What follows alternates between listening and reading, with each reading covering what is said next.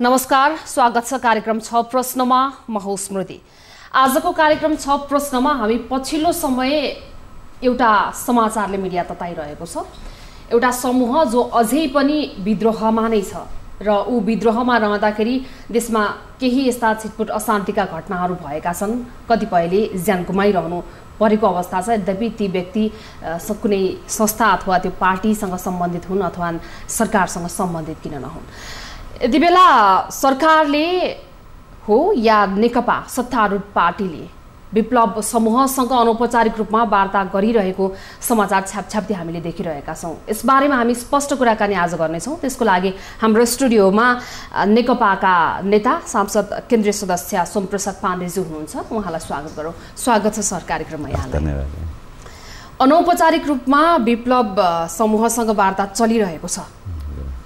चलि नै रहेछ अब यसमा के छ भने अहिले जसरी मिडियामा धेरै कुरा आएको छ नि त्यो पोइन्टसम्म त्यो स्तरसम्म पुगिसकेको अवस्था होइन। अलिक बढी धेरै आएको छ। र यसले एउटा कुरा के चाहिँ सङ्केत गरेको छ भने नेपाली जनता वार्ताको माध्यमबाट शान्ति कायम गर्ने र यस्तो खालको समूहहरूसँग जसले चाहिँ अब एक किसिमले भन्दाखेरि अब एउटा हतियार उठाउने अवस्थासम्म पुगेको समूहसँग वार्ता गरेर शान्तिपूर्ण प्रक्रियाबाट यो मुलुक निर्माण गर्नुपर्छ भन्ने कुरोमा नेपाली जनताले चाहेको कुरो चाहिँ बुझिन्छ। धेरै मात्रामा यसमा चासो लिएको र चाहिँ मान्छेहरूले यसलाई चाहिँ अत्यन्तै सकारात्मक रूपले हेरेको चाहिँ देखिएको छ। त्यस कारण चाहिँ अब अहिले जसरी मिडियामा आएर टुङ्गो लाग्ने अवस्थामै पुगेको हो कि भन्ने कुरो त्यो त्यो चाहिँ होइन। त्यसमा चाहिँ अब धेरै चरण बाँकी छ। तर पनि के हो भने अनौपचारिक रूपमा छलफल नभएको सम्पर्क नभएको चाहिँ होइन। जसरी नेका नेपाल सरकारले दुई हजार पचहत्तर साल भदौ आठ गते राजनीतिक बाटाटोली मेरो संयोजकत्वमा चाहिँ बनायो त्यो बनाउनुको उद्देश्य पनि के थियो भने यस्तै असन्तुष्ट द्वन्द्वरत र चाहिँ संविधानको दायराभन्दा बाहिर रहेका चाहिँ समूहहरूलाई राजनीतिको मूलधारमा ल्याउने संविधानको मूलधारमा ल्याउने उद्देश्यका साथ त्यो टिओआर सहित हामीलाई जिम्मेवारी दिएको थियो। अनौपचारिक नै किन नहोस्? त्यसलाई म जोड्दैछु। त्यति बेला पनि हामी अनौपचारिक रूपमै रह्यौँ। हामीले चाहिँ त्यसलाई पूर्णता दिन सकेनौँ। धेरै समूहहरूलाई दियौँ सिके राउतको पनि कुरा उठ्यो त्यो पनि टुङ्गियो। तर अब अहिले चाहिँ एउटा मात्रै समूह एउटा मात्रै पार्टी बाँकी रहेको त्यो भनेको नेता विक्रम चल नेतृत्व गर्नुभएको नेपाल कम्युनिस्ट पार्टी नै हो। यो राजनीतिक पार्टी हो। यसलाई चाहिँ हामीले अब राजनीतिक रूपमा डिल गर्नुपर्छ। त्यसको निम्ति हामीले अनौपचारिक वार्ता त्यति बेला पनि गरेका थियौँ। धेरै चरणको वार्ता गरेका थियौँ हामीले। तर अहिलेको कालमा पनि के छ भन्दाखेरि अब म पनि अब त्यति बेला वार्ताटोलीको संयोजक भएको हैसियतले र उहाँहरूको सम्पर्क विगतदेखिको रहेको कारणले म पनि सम्पर्कमा छु। अब थोरै धेरै थोरै आफ्नो शक्तिले भ्याएसम्म उहाँहरूसँग कोसिस गर्ने काम अरू अरू पनि नेताहरू अब मलाई लाग्छ चाहिँ अब वार्तालाई टुङ्गो लगाउनु पर्छ भन्ने कुरोमा सबै नेताहरूको सिङ्गो अब चाहिँ सरकारको सरकारले यसको विषयमा चाहिँ अब वार्ता टोली नै गठन गरिसकेपछि सरकारले वार्ता चाहेको हो। त्यस कारण अब यसमा त कुनै दुविधा छैन र सरकारले वार्ताको ढोका खोलेको छ। वार्ताबाटै नै टुङ्ग्याउनुपर्छ यस्ता सम्पूर्ण कतिपय छलफल गरेर हामीले टुङ्गो लगाउन सक्ने अवस्था रहन्छ। त्यस कारण चाहिँ टुङ्ग्याउनुपर्छ भन्ने कुरो सरकारले पनि गरेको छ। र राजनीतिक पार्टी हाम्रो नेकपाभित्रको नेताहरूले पनि यसलाई टुङ्गो लगाउनको निम्ति आफ्नो आफ्नो ठाउँबाट पहल गर्नु यहीँनिर छोटो एउटा म के पनि कुरा क्लियर गरौँ भने अनौपचारिक रूपमा यहाँहरू वार्तामा हुनुहुन्छ त्यो क्लियर भयो। त्यो प्रारूपमा जानुभन्दा अगाडि चाहिँ यहाँहरूलाई चाहिँ अहिले के पनि टिका टिप्पणी चलिरहेको छ राजनीतिक परिप्रेक्ष्यमा भने नेकपाले व्यक्तिगत रूपमा अर्थात् सत्तारूढ पार्टीको रूपमा चाहिँ त्यो विद्रोही समूहसँग अनौपचारिक वार्ता थालेको छ अथवा सरकारी तवरबाट वार्ता थालेको छ? सरकारी तवरबाट यहाँले संयोजक भएर लामै प्रयास गर्नुभएको लबिङ गर्नुभएको। यो एउटा अलिकति कन्फ्युजनको पाटो त्यो पनि छ। यो कुरा उठ्दाखेरि यसलाई होइन अब यसमा चाहिँ अनौपचारिक कुरा हुँदाखेरि सरकारले कुनै कसैलाई म्यान्डेट दिने कुरो चाहिँ त रहँदैन है? तर के छ भने यसमा प्रधानमन्त्रीसँगको परामर्श र सरकारमा रहेका नेताहरू मन्त्रीहरूसँग पनि परामर्श छलफलपछि मात्रै अब सम्पर्क गर्ने। अब त्यो त भोलि गएर चाहिँ टुङ्गो लगाउनु त सरकारले नै टुङ्गो लगाउने हो। यसको चाहिँ अन्तिम रूप दिन त सरकारबाटै हो। त्यो तार्किक निष्कर्षमा पुग्नको निम्ति सरकार नै यसमा इन्भल्भ हुनुपर्छ। त्यस कारण चाहिँ सरकारका मन्त्री अब मन्त्रालयका सचिवहरू जस्तो गृह मन्त्रालय अनि प्रधानमन्त्रीज्यूको अब सचिवालय त्यहाँको कार्यालय अब सम्पर्कबाटै यो अब सम्पर्क गर्ने खालको चाहिँ वातावरण तयार भएको जस्तो मलाई लाग्छ। त्यस कारण चाहिँ अब त्यहाँ केही कुरा भयो भने रिपोर्टिङ चाहिँ प्रधानमन्त्रीलाई भइसक्छ। विप्लव समूहसँग यहाँ धेरै नजिक हुनुहुन्छ। वार्ताकै लागि लबिङ गरिरहँदा पनि त्यो हामीले बुझेका छौँ। अब अहिले सरकारले विप्लवसँग वार्ता गर्नको लागि औपचारिक रूपमा पत्र पठाउने चरण त्यो अझै बाँकी नै छ। विप्लव समूहका कतिपय नेताहरूलाई चाहिँ दमनबाट नसकेपछि अहिले सरकारले अथवा यहाँहरूले चाहिँ यो वार्ताको हावा फिजाउनु भयो भन्ने कुरा पनि आयो। यसमा चाहिँ उनीहरू कतिको गम्भीर देखिन्छ। होइन यस्तो छ। अब यो एकतर्फी कुरा होइन। अब सम्पर्क गर्नको निम्ति उहाँहरू पनि अब हामीले चाहिँ के लागिराखेको छ भने मलाई मेरो व्यक्तिगत कुरा गर्नु छ भनेदेखि अब नेत्र विक्रम चन्द्र नेतृत्व गर्नुभएको पार्टी नेपाल कम्युनिस्ट पार्टी राजनीतिक पार्टी हो। उहाँहरूले विश्लेषण गर्नुभएको छ। यदि उहाँहरू वार्ताको निम्ति इच्छा नै नभएको भएदेखि पार्टीले त्यो खालको चाहिँ कुनै निर्णय अथवा चाहिँ छलफलै नगरेको भएदेखि उहाँहरूको नेताहरू कतिपय नेताहरूसँग छलफल नआउनु पर्ने तर आउनु भएको छ। र मैले के थाहा पाएको छु भने अनौपचारिक रूपमा थाहा पाएको कुरा उहाँहरूले पनि आफ्नो निर्णयमा वार्तालाई सिद्धान्त त अस्वीकार नगर्ने भन्ने ढङ्गको निर्णय चाहिँ गर्नुभएको छ। त्यस यसको मतलब त वार्ता नै हो त उहाँहरूले पनि चाहेको। र फेरि अर्को विकल्प पनि छैन। वार्ताको विकल्प छैन। त्यो कि वार्ताबाटै सबै कुरो टुङ्गो लगाउनुपर्छ अब हामीले यहाँ हतियार उठाएर हतियारबाट शासन सत्ता कब्जा गर्ने खालको अवस्था पनि मुलुकमा देखिँदैन। र मुलुकमा मुलुक नेपाली जनता द्वन्द्व पनि चाहेका छैन। हामी लामो समय लडेर यो मुलुकमा नेपाली जनताको राजनीतिक अधिकार स्थापित गरेका छौँ। यो मुलुकमा सङ्घीय लोकतान्त्रिक गणतन्त्र ल्याइसकेका छौँ भने अब योभन्दा उत्कृष्ट व्यवस्था अरू हुन पनि सक्दैन। त्यस कारण चाहिँ हामीले हिजो थियो जब जनयुद्ध सुरु भयो त्योभन्दा पहिला बहुदलीय व्यवस्था थियो संवैधानिक राजतन्त्र थियो त्यो मात्रै राजाको चाहिँ एक खालको शासन सत्ता यो देशमा थियो त्यति बेला चाहिँ निरङ्कुश राजतन्त्र समाप्त गर्नको निम्ति संवैधानिक राजतन्त्र समाप्त गर्नको निम्ति देश गणतन्त्र स्थापना गर्नको निम्ति हामीले चाहिँ हतियार उठाएका हो भन्ने एउटा चाहिँ ठाउँ थियो तर अब त्यो पनि छैन। अब मुलुकमा गणतन्त्र आइसकेका छ। हामी समाजवादसम्म पुग्ने लक्ष्यका साथ हामीले संविधानमै समाजवाद उन्मुख भनेर हामीले चाहिँ यो संविधानमा लेखेका छौँ। भनेको मतलब हामीले यो मुलुकलाई अब अगाडि बढाउने कुरोमा चाहिँ धेरै कुराहरू प्राप्त गरिसकेका छौँ। अब यसलाई व्यवस्थित गर्ने कुरा हो। यसलाई कार्यान्वयनमा लैजाने कुरा हो। गणतन्त्रलाई सुदृढ गर्ने कुरा हो। यसको निम्ति हामी लाग्नुपर्ने जोरी छ। त्यस कारण चाहिँ मेरो विचारमा अब उहाँहरूले पनि यस विषयमा धेरै विश्लेषण गरेर शासन पद्धतिको सही उपलब्धि यतिखेर हामीसँग छ। त्यसमा चाहिँ सबै आउनुहोस् सबै यसको हाम्रो अहिले अहिले चाहिँ अब अब जस्तो अर्को एउटा प्रसङ्ग के पनि यहाँले भन्नुपर्छ बोल्नुपर्छ त्यसमा भने म योभन्दा अगाडि जति बेला चाहिँ नि द्वन्द्वकाल थियो ज त्यो द्वन्द्वकालको अवस्थामा पनि पटक पटक विद्रोही समूहसँग वार्ता गर्ने बेलामा विभिन्न रणनीतिहरूको उपयोग गरिएको थियो र ती वार्ताहरू असफल प्राय भएका थिए। अथवा त्यो रणनीतिकै लागि मात्रै वार्ता भएको त्यो एउटा अवस्था पनि थियो। अहिले पनि अब त्यस्तो नहोला भन्न सकिन्छ कि सकिन्छ अब यसमा यस्तो छ मलाई लाग्छ पहिलेको परिस्थिति र अहिले परिस्थिति धेरै फरक छ। हामीले मैले भने नि यो मुलुकमा सङ्घीय लोकतान्त्रिक गणतन्त्र ल्याइसकेको अवस्था अहिलेको मुलुकले प्राप्त गरेका चाहिँ उपलब्धिहरूको यी सबैको मूल्याङ्कन हुन जरुरी छ। त्यस कारण चाहिँ हिजो जस्तो हुन त हिजो पनि तपाईँले थोरै सङ्केत गर्न खोज्नु भएको दुई हजार बाहन्न साल फागुन एक गते घोषणा गरेको जनयुद्धको विषयमा होला। तर पनि के थियो भने नेताहरू निरन्तर रूपमा अनुपचारिक रूपमै लाग्नु त्यति बेला पनि। चाहे त्यो माधव नेपाल सिलगढी गएर गरेको कुरा होस् छलफल होस् चाहे गोरखपुर लखनऊदेखि लिएर वामदेव गौतम युवराज गेवारी रोल्पा पुगेको कुरा ती सबै अनौपचारिक थिए। त्यसले त एउटा रूप त लियो त पछि। आखिरमा दस वर्षको बिचमा जनयुद्धले शान्तिपूर्ण जनआन्दोलनमा समाहित भएर समावेश भएर मुलुकमा गणतन्त्र स्थापना गर्न सकियो त। भनेपछि त्यो त्यो त्यो वार्ता पनि अलिअलि म पनि त्यति बेला छोइएको थिएँ किनखेरि पार्लियामेन्टमा म चाहिँ संसद सदस्य म लामो समयदेखि छु। म त यो चौथो पटक निर्वाचित हो। त्यस कारण चाहिँ म त्यो दोस्रो पटक निर्वाचित भएर आइसकेपछि सरकार मतलब चाहिँ संसदले परराष्ट्र मानवाधिकार समितिको सभापति मलाई बनाएको थियो। मानवाधिकारसँग जोडिएको विषय हुँदाखेरि अब सेनाहरूको आक्रमण अनि अब ठाउँ ठाउँमा चाहिँ अब नेकपा माओवादीको तर्फबाट भएको आक्रमण त्यसलाई चाहिँ मैले कतिपय ठाउँमा चाहिँ आवाज उठाउने गर्थेँ। र त्यसको निम्ति चाहिँ अब वार्ता नै हो भनेर मैले केही कुरा आफूले पनि प्रयत्न गर्ने गर्थेँ त्यहाँ। तर त्यो चाहिँ के भयो? बैसठी त्रिसठी नपुग्दै त्यो चाहिँ एउटा टुङ्गोमा पुग्यो। भनेपछि वार्ताबाटै हामीले टुङ्ग्याउन सक्छौँ। अहिलेको पनि के हो भन्दाखेरि चाहिँ अब रणनीतिक रूपमा लिने कुरो चाहिँ त्यो कुनै आफ्नो होला तर त्यो चाहिँ सफलताको बाटो होइन। सफलताको निम्ति हामीले वार्ताबाटै जानुपर्ने हुन्छ र वार्ताको विकल्प छैन। पछिल्लो प्रयासमा पनि यहाँहरूले हामीले विप्लवलाई चाहिँ सकेनौँ भनेर भन्नुभएको थियो प्रतिवेदनमा। त्यसपछि उहाँहरूले राम्रो सकारात्मक सङ्केत पनि दिइरहनु भएको थिएन। अहिले चाहिँ सरकारले विप्लव समूह विरुद्ध लिएको यो जुन रणनीति छ नि त्यो रणनीतिले गर्दाखेरि यो वा वार्ताको वातावरण बनेको हो भन्ने ठान्नुहुन्छ होइन त्यस्तो पनि होइन। अब सबै कुराहरू अब घटनाक्रमहरू र समयको अब समयसँगै त्यसलाई गर्ने विश्लेषणहरू त्यसका चाहिँ अब चाहिँ विभिन्न खालका चाहिँ त्यस्ता छलफलहरू यी सबै कुराले एक ठाउँमा ल्याएको छ। र अहिले हामीले देखेको कुरा के हो भने हामी किन पर्यटनप्रद छौँ भने जसरी जुन बाटो उहाँ लिन खोजिरहनु भएको छ त्यो अब हामी सैन्य शक् शक्तिबाटै सब्जा कब सत्ता कब्जा गर्ने भन्ने कुरो त आइसकेको छैन। तर पनि एक खालको एउटा ठाउँ ठाउँ भएका आगजनी ठाउँ ठाउँ भएका विस्फोटहरू ठाउँ ठाउँ भएका आक्रमणले एक खालको सङ्केत गरेको छ।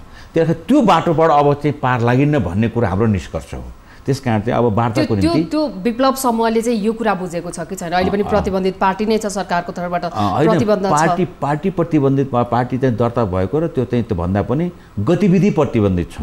है गतिविधिलाई गतिविधिलाई चाहिँ सरकारले प्रतिबन्ध लगाएको छ है। त्यस कारण चाहिँ अब जुन खालको चाहिँ ध्वंसात्मक गतिविधि भयो खास गरेर अब एनसेलका टावर लगाए ठाउँ ठाउँमा भएका आगजनीहरू ठाउँ ठाउँ भएका निर्माण सामग्रीहरू चाहिँ अब ती चाहिँ अब उसलाई के अरे आगजनी गर्ने कुराहरू यी लगायतका कुरा भइसकेपछि सरकारले अब सरकारमा पनि के प्रेसर के पऱ्यो भनेदेखि चाहिँ publicly law and order maintain गर्न सक्छ सक्दैनस् चाहिँ तैँले चाहिँ सरकार जिम्मा लिएको मान्छे यस्तो खालको चाहिँ आतङ्क आतङ्क नियन्त्रण गर भन्ने कुरो चाहिँ पब्लिकबाट पनि आयो।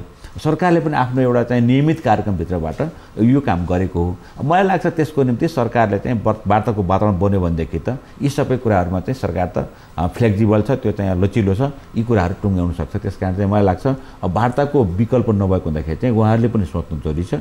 सरकारले पनि जुन ढोका खुलेको छ त्यसलाई अझै बढी वार्ताको निम्ति वातावरण बनाउनुको निम्ति। वार्ता बा हुन त वार्ता चाहिँ एउटा पक्ष मात्रै तयार भएर त हुँदैन दुवै पक्ष त्यस खालको तयार हुने र त्यो वातावरण बन्नुपर्छ त्यो वातावरण वातावरण बनाउन दुवै पक्ष लाग्नुपर्छ भन्ने हाम्रो चाहिँ निष्कर्ष हो।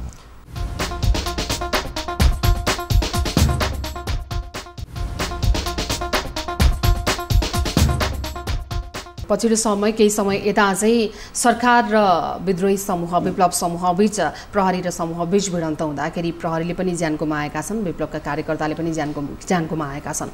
यसमा चाहिँ सरकारकै नीति नै जहाँ चाहिँ नि भेट्यो उहाँहरूसँग जहाँ जम्का भेट भयो जहाँ भेट भयो त्यही नै गोली हान्ने मारिहाल्ने भन्ने हो। त्यस्तो चाहिँ होइन। त्यो त्यो चाहिँ अब हेर्दाखेरि त्यो देखियो अथवा विश्लेषण व्याख्या गर्न सकिन्छ तर त्यो होइन। अब कहीँ कहीँ चाहिँ जब हतियार उताबाट पनि खोलिन्छ त्यसपछि यताबाट पनि हतियार खोलेको काउन्टरको निम्ति चाहिँ अब काउन्टर पार्ट नै गएको चाहिँ हो है। तर चाहिँ जस्तो ठाउँ ठाउँका घटनाहरूले देखाएको छ अब प्रहरी मरिसकेपछि अब यसमा त अरू अरू भन्नै परेन। अब धेरै घटना त भइसकेको छ त्यस्तो छैन। तर अब जुन खालको घटना भएर प्रहरी नै मारिने खालको अवस्था भएपछि त्यहाँ त दुइटाको मुडभेड त भएको रहेछ। दुवै पक्षको चाहिँ हतियार त खुलेका रहेछन्।